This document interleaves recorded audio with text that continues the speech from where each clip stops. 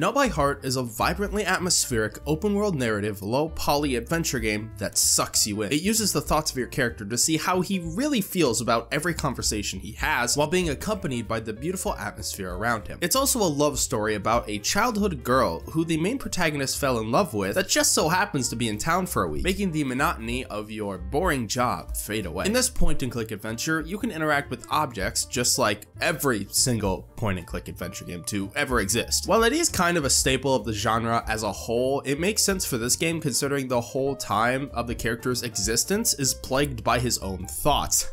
Relatable. Which you'll tend to still faintly hear even if you zoom out while your inner monologue is talking. Also, uh, don't accidentally click on the same item multiple times, otherwise you'll get the same dialogue on repeat, which happened to me a few times at a few places in town. Regarding the mysterious town, which you are always running in to save you at least a little bit of time, over time you get more map pieces to better understand the landscape of the town slowly over time, instead of having this big map that you attempt to learn all at once. So I appreciate the small map bits over time because I'm bad at processing a bunch of info at once. Memories are a key part of this town, which are known in the form of red leaves on the ground. In every single level, you can spot these sections while traveling. Sometimes they're optional, other times they are mandatory to progress the story forward. This is mostly to do with the first and last level of the game because of spoilers. This game is split into seven different days, one for each day of the week that the love interest is in town. Each day has its highlight. Some situations keep happening, others were only available for one of the days. Some days I had no gripes with, others I had some negative thoughts about.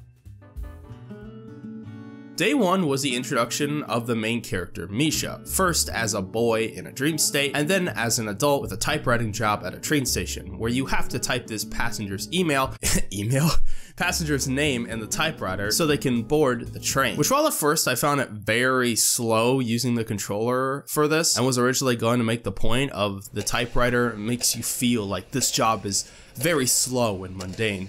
Once I realized that I could use the keyboard for the section, I found it vastly faster, plus it makes it feel more realistic. This day also introduces you to the fact of you can't be everywhere at once. Basically, there's one of two options happening at once, and it will mostly come down to, well, pick one and see what happens. This gives the illusion of multiple choices, but it always loops back around to a narrative point to where it really only leads down to one path. Most of the day has Misha and Asya, the love interest, spending time in the park with the red leaves to remember the good times. Day 2 is all about family. These family events are especially in the form of finding photos for a family present, which turns into not only a puzzle that is used basically every day, revealing more about the past the more you piece together, but that it's also an excuse to do an errand for a family member, like watching school kids for a teacher while she grabs the photo, or you could do the opposite of helping and just steal your uncle's car. Another major family event was Aunt Galia's party, where she made tea for everyone while you helped out. This transpired into a little mini game that's only in day two, where you get to put in ingredients for each person's tea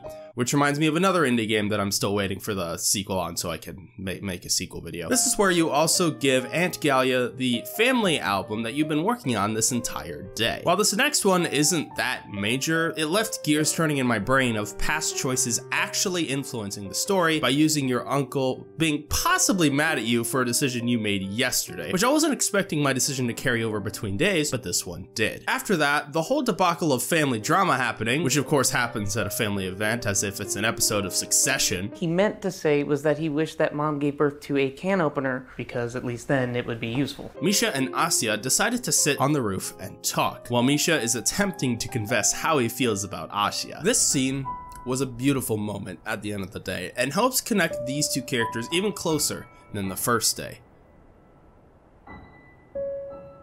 Now, day three is where things start shifting into a more mysterious light. The first victim was the aunt who lost her memory of Almaz, Misha's cousin. You try to help the aunt, but instead she yeets the photo album you give her yesterday out of the window.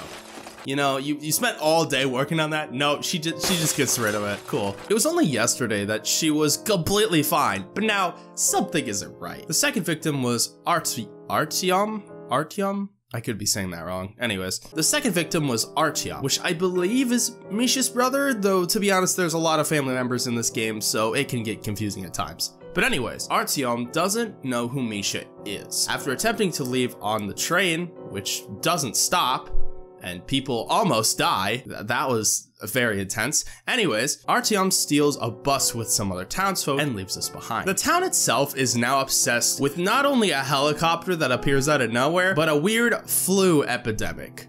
I'm doing air quotes here, but you can't see it because it's just my voice. Which is why they're taking blood samples of the townsfolk. The entire time this is going on, Misha is looking for Asya, who's missing. So you gotta run all over town to find her like a chicken with its head cut off. Asya is finally found near the childhood tree that was mentioned in the first day, which makes sense because of the fact that this was the tree that they grew up with as kids that they would always play around.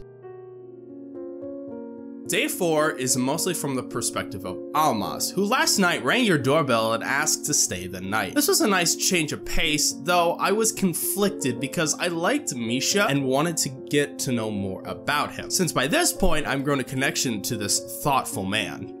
Yeah, you get it? Anyways, no matter my feelings, it made sense for story progression, since now you had the perspective of memories from a different person. This then cements the idea in your brain that although we can be in the same space, we all have different memories about the common space. From Almaz's perspective as well, we see a mother forget her child. The dialogue leads to a hug with the mom, and I decided to give her an extra long hug just to see what happens, which ended up being a lot of dialogue going a lot longer than I was expecting. The scene is very packed with emotional words and shows how holding on to those you love is important. The other half of the day was from the guard's perspective. You get punked by punks in the most cinematic scene in the entire game. Bash it! You asked for it! Ah, one more time. Okay, that's enough for him. Big! Gotta scrub! Which I kinda wish was in the entire game to make it more fluid in motion, yet if it was all the time, it wouldn't be as special. So I appreciate this moment so much. You also take one of the kids in the gang back to the orphanage, which is on fire. Which, while you get the choice of helping or not, I chose to save the kids from the burning building because I have a soul. Day 5 is back in action as Misha. This day is basically the camp day where you and some soldiers move supplies to a basketball court. While this is happening, Asya was telling a story to the children to keep them and the players entertained with a cute tale. After all the supplies are moved, Misha and Asya go back to Misha's apartment. While you think you're going to have a fun night in, you're instead thrown for a surprise that you least expect. Because again, family drama. What do you have against me? Nothing. Nothing? Oh, you want me to actually say? Yes, I do. Asya gets a call from her father and then leaves abruptly, revealing to us that Asya has forgotten who her father is, which meant that the town's virus was spreading. Misha attempts to chase after her, but because of the town being in a mandatory curfew, oh, as well as a quarantine and lockdown, because yes, of course this game has a freaking quarantine, my gosh. This leads us to one of the best scenes in the game, the late night thoughts. Misha tries so hard to rationalize everything that's happening in this town with words flying everywhere as you're attempting to ground yourself in reality with these ideas. This is honestly one of the most relatable scenes I've seen so far, where your brain is swimming in ideas at late hours trying to make sense of it all. Very cool dynamic added to the game, which is only available in this sort of way on day 5. Day 6 is where Asya starts to become infected herself. If I forget you all, I'd rather be alone. Which, oh yeah, Misha's uncle doesn't recognize either of them either. This means that the town has now been infected even more, and everyone is starting to become affected in some sort of way. oh, maybe I'm catching the virus, gosh. This leads Misha to try so hard for Asya to remember her life in this very foggy day, making this town feel very eerie and desolate. The more memories you show to Asya, the less she remembers, which is a terrifying idea. Seeing the person you love the most going through major lapses in memory on the spot. After Misha attempts for so long to help Asya, we get this very metaphorical and symbolic portrayal at the end of the day. Water is filling up the space slowly until we get consumed.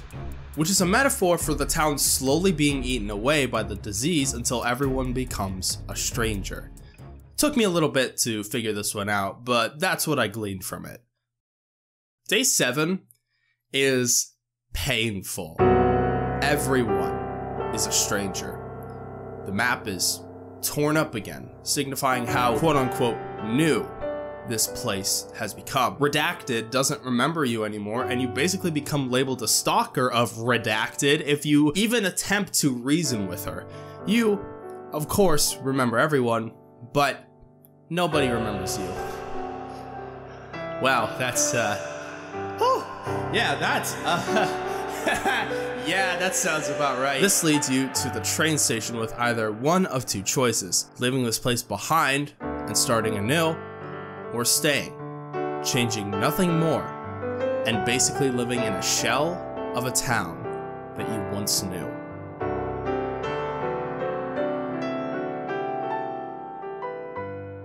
I'm honestly conflicted about this game. On one hand, the journey was really good, the characters were lively and memorable, the family drama felt impactful, like Succession. Yes, I've been watching Succession, it's such a freaking good show, oh my god! I don't feel anything. it's a mental disorder. It's called borderline personality disorder. Why is everybody laughing? The relationship between Misha and Redacted was adorable, and there were different minigames in each day and different tasks to do, which made gameplay enjoyable. On the other hand, it's a pretty long game, which makes you not want to play it again and get a new ending. The ending left us with a lot of questions that aren't answered, which I don't know whether this is intentional or not, and I don't know if choices actually matter in the game, since there are basically only two endings from what I found. No matter how I personally feel about Know by Heart, the game was about a distant girl who was in a town again for a little bit of time, the mental regrets of speech people can have regarding past mistakes, and that this game can be relatable to people who find themselves in their own thoughts a lot of the time. It's definitely a game where the journey was more enjoyable than the actual ending. To some, that's a deal breaker. But for me personally, the story was about how our choices matter. We can't change the past, but we can do our best to keep moving forward. We can learn from our mistakes to make our present the best it can be.